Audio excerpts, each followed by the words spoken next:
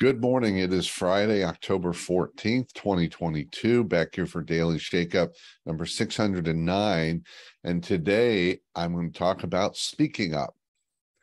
I have to tell you, I'm not only frustrated, but sometimes actually sad when I think about the reality that so many people who are given the opportunity, whether they crave the opportunity or not, to speak to a group, often with a microphone, who actually aren't heard by the people in the audience.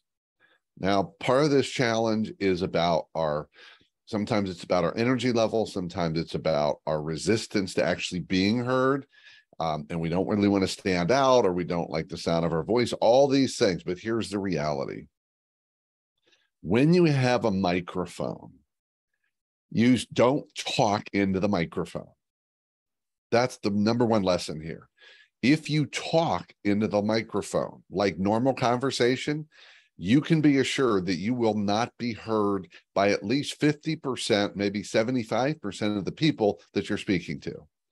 Because the microphone amplifies, but it doesn't blast. So you've got to speak into a microphone.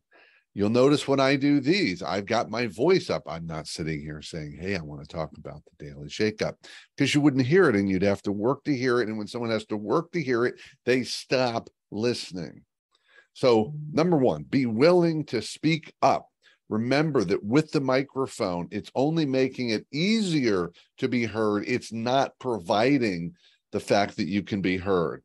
So my view is no matter what size room it is, you still want to project your voice to the back of the room, even with a microphone. Yes, even with a microphone.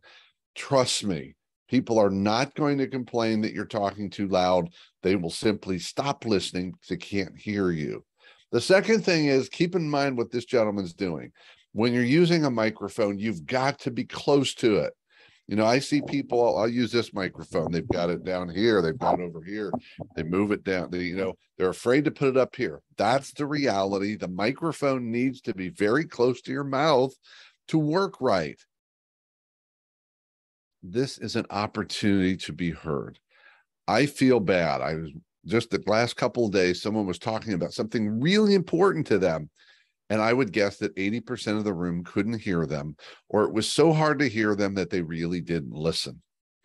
And they have probably no idea. I'm here to just let you know it's time to speak up, even with a microphone, and bring that microphone up close to your mouth. Let yourself be heard. Let your story be told. Let your message be communicated. Let yourself be seen and heard. That's it for today. Keep taking care of yourself and everyone around you. And by all means, stay connected.